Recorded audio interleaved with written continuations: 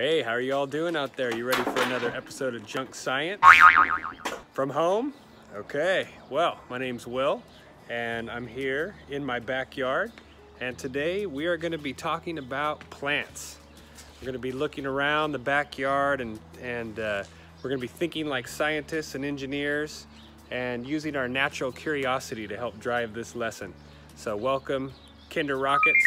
We're happy you could join us and any other kindergartners or young scientists and engineers that are ready to learn today.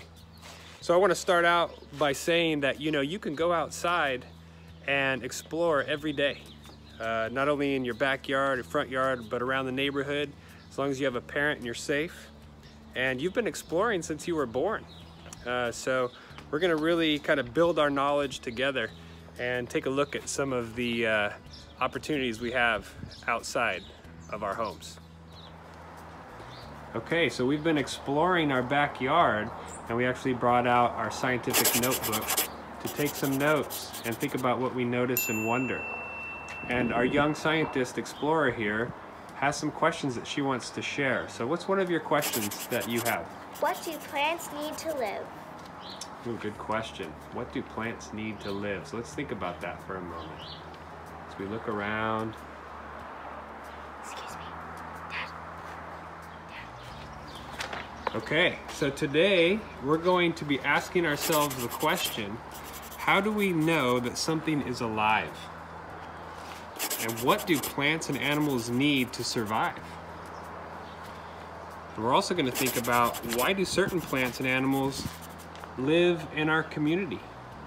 So right now, we're going to follow this young lady as she explores in the backyard. We're listening to the sounds of perhaps some different animals that we hear. And we're going to look closely at some of the plants and trees and nature around us. I want you to think about what observations you can make when you're outdoors. And do you notice any patterns of what plants and animals, including humans like ourselves, what do we need to survive? So think about that for a moment. Pause and reflect and think about what do these plants that you see around our yard, we didn't plant these, by the way. These, this looks different. Our yard looks different than it did a month or two ago. So let's look closely. Let's look closely down at some of these plants. And what do we notice? What do we wonder? So another question that you may have. My other question is why does our backyard look different? That's true. Our backyard does look different than it did a few months ago, or say in the summertime, right? And so, what do you think? Okay, so you've been taking some great notes, and I want you to share with us what do you notice? I notice trees, flowers, and bushes. Okay. And can you give me some more detail? What colors do you see? I see green, pink, yellow, red. Okay. And can you, what do you hear? I hear birdies, the wind, and someone drinking. or at least someone Okay. was drinking. And do you smell anything? I smell flowers.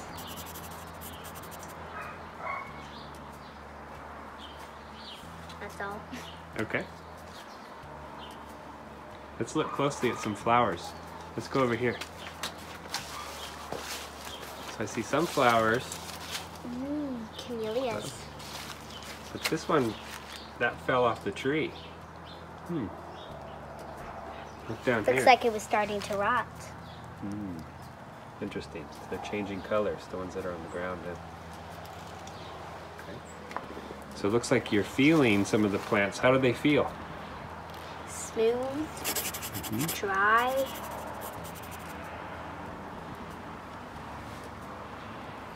Do all the plants Velvety. velvety? Okay.